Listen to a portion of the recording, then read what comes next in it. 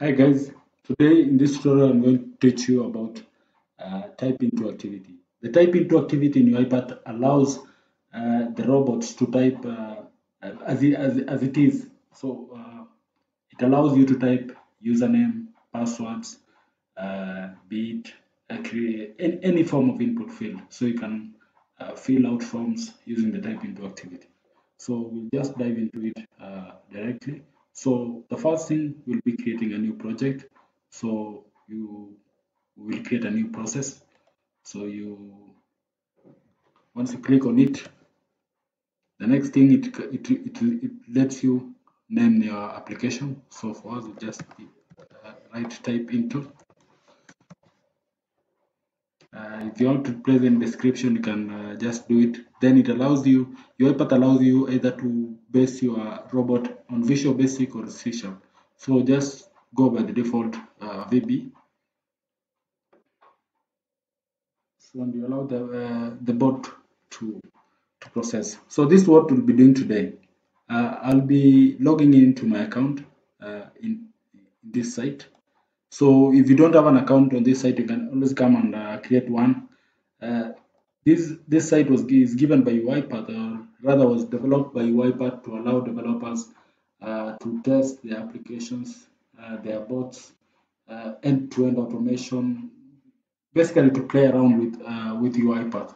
So basically, we'll come and type in my email and my password and simply log in so we want to automate this process, and uh, I think this is the first bit to understanding deeper what UiPath really is all about.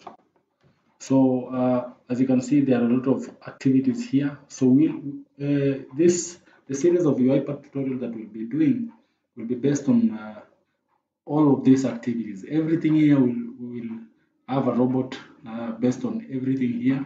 We'll automate these uh, applications and see how it goes.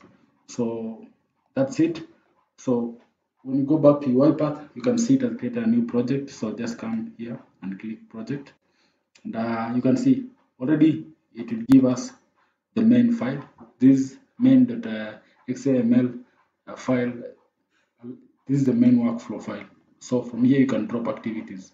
So uh, the first activity will be dropping uh, will be sequence, the sequence activity. This is basically a container. Inside the sequence activity, uh, you can drop a number of other activities, but the order by which it will be executed is, is in a sequence format, uh, as, as the activity suggests. So, uh, uh so this, this is what uh, the trick is now. When working with UiPath, the first thing you always have to do is integrate the UiPath plugin into your browser. So uh, first thing, let me log out of, out of this video. So the first thing I want to uh, enable UiPath to work with Chrome. Since most browsers, you need extensions, UiPath extensions. So that what you do, you always come to Home, then Tools. Then the next thing, since we'll be using Chrome, I'll just click this and it will automatically uh, do that. So it, uh, once you've done that, uh, you'll have to restart your browser so just uh, start my browser again. Now we are back. So just type in again acme-test.com uh, so just allow the application to load.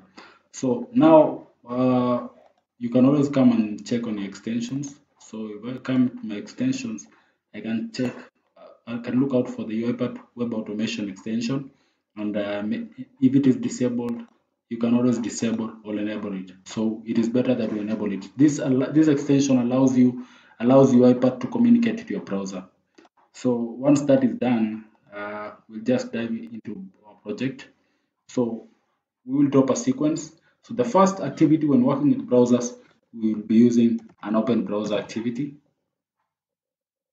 So an open browser. So this allow this this allows your robot to open uh, a browser if the browser is closed. So uh, you don't you don't have to start the browser for the bot. The bot will just manage uh, the entire process from opening the browser, typing into the typing into the input fields and so on and so on. So we'll just take this URL. So once you take this URL here, where it's supposed to insert URL, you will insert a string value. We'll come and discuss later about data types in UiPath, but uh, you can just place it directly the URL into quotes. And then uh, now when you have done that, uh, th but this far the application should be able to open the browser. And uh, you'll come to properties and select the kind of browser you'll be using. So we'll select chrome. Uh, it's very important to select the browser type uh, it, uh, UiPath allows you to use a number of browsers so you, you always have to be specific here so once you have done that the next thing inside this do as you can see this icon is for the it's a sequence uh, icon for a sequence so anything you place under here will be uh, the, the robot will deal with each activity in a sequence form uh, of operation. Uh, so the next thing we'll be using a type into activity. As it suggests, uh, the, the function of this activity is always is always to place uh, to type uh, any characters into your input fields. So when using an UiPath, you always have to indicate where does the robot uh, perform its action. If it is a type of activity, where does do we type uh, the characters that will be giving the robots? So uh, in this indicate uh, element inside the browser, you just click it, then it will take you now to the browser. When you to the browser, you select. So for us, we want to type uh, this input, email input. You just click it, and that's it. So once it, you can always come here and check out what it selected. If you don't like it, uh, you can come and indicate on screen. So I can just place it here.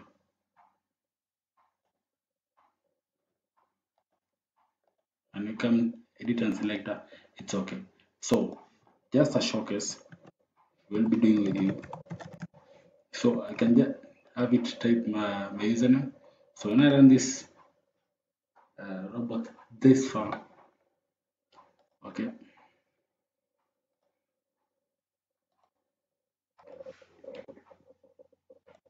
so uh, sorry about that. So what I was discussing is that uh, when you are using this type into activity, the first thing you have done is we have indicated uh, our element on screen. And when you type to edit the selector, you can see this is what we call a selector. A selector allows you to identify elements to which the robot will be uh, doing performing its activity onto, uh, whether it's in the browser or uh, in your in, in, your computer. So was, you for every activity in the robot, you always have to use selectors. And these more selectors are more of an advanced uh, stage when it comes to editing selectors, but we'll, we'll come to that. But uh, for now, you just uh, this part is always handled by UiPath, unless complex activities, which by then, uh, by the end of all our series, you'll be able, series of tutorials, you'll be able to, to capture more. So the next thing uh, you'll be to type in the password. So I'll use another type into activity and I'll indicate the element on screen. And as you can see, uh, I have selected the input file and I can tap my password here. So uh, I'll just publicly so that's it I mean this is not the recommended way of uh, doing passwords I've, I've just done this for the purpose of learning. So once you have done this uh, you are now good to go. And uh, one last thing we forgot is using the click button.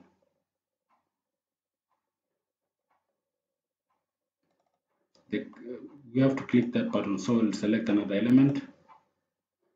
Yeah so uh, that's it now you can even close this browser and see what uh, we have so far so good so when I run this robot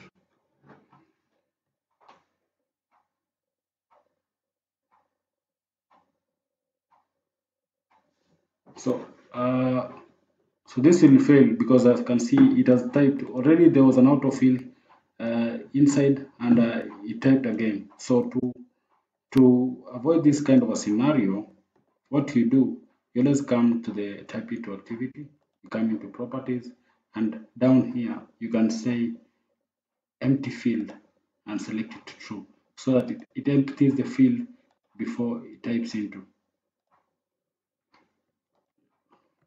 That's it. Now you can run again. Now perfect. Voila. So you can see we've been able to log in uh, using UiPath and you can also check uh, on this video and review it. How did we do it? So first we add a type into activity for the username, another type into activity for the password, and we used a click activity to click the login button. So that's simple. That's basically a simple robot. And uh, eh, using the same logic, you can create a lot of robots because most of the data entry stuff you'll, you'll be using and utilizing the type into activity so much. There's another activity I would, I would introduce in data stage, which is the password uh, type type secret uh, password activity. So I mean, uh, in that activity, you'll be able now to type in credentials, and as I've indicated, this is a very wrong way of uh, typing or placing password into into your robot. But uh, for the purpose of learning, I saw it better that uh, you understand first uh, why how how how does the robot work? How does you how do you how does you pass the values uh, into the robot and now into the application? So that's it. It's simple. It's as simple as that. And uh, I hope you have enjoyed and uh, learned something and the basics of UiPath. Uh, bye guys.